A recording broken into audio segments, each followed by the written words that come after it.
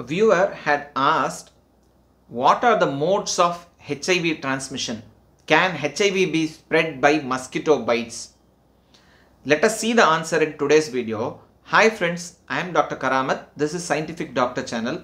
In this channel, your health related queries are answered via short videos which are released every week. If you want to see such videos, subscribe to this channel. Also, if you have any queries, kindly post it in the comment section. I'll try to answer them in subsequent videos. Today's video is about the routes of transmission of HIV. We have to be very clear in today's world, HIV is not a deadly disease. HIV is a chronic manageable disease. It's not considered so deadly. There are effective treatments available.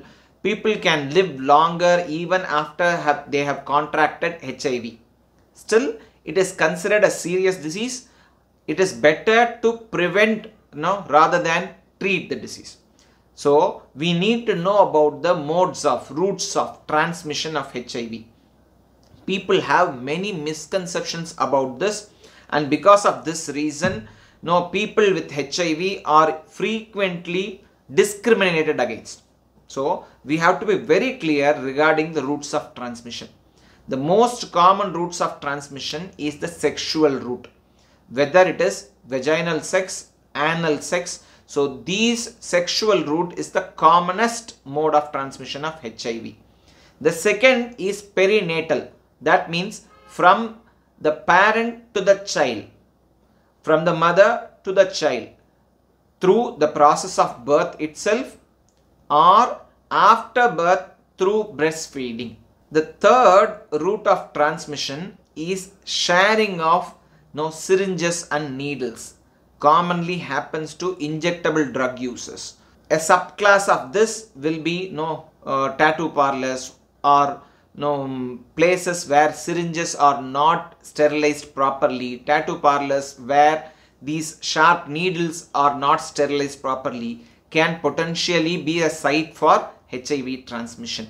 The next route will be blood transfusion. Even though today we screen for HIV among voluntary blood donors, but there is still a small possibility of no window period being there. No people have to voluntarily say about that. HIV testing may not be apparent in the immediate window period. There is a very very small risk in blood transfusion and blood products transfusion we have to be very clear which of the fluids which can transmit HIV.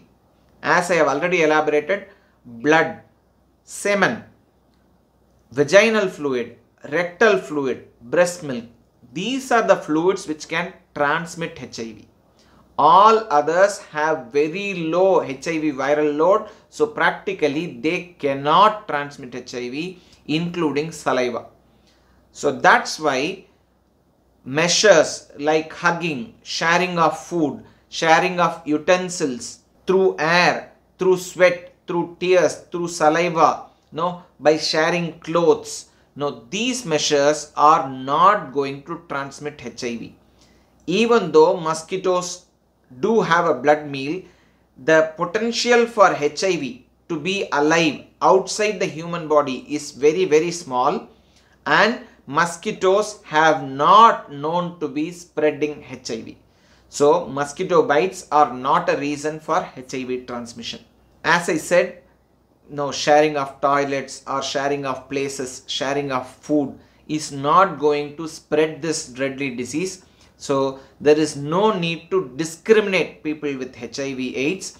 So, we can be rest assured that by merely being in the vicinity of no such individuals you are going to be at a higher risk hopefully this would have cleared your confusion regarding hiv and its transmission if you like this video share it among your friends and relatives if you want to see such videos subscribe to this channel.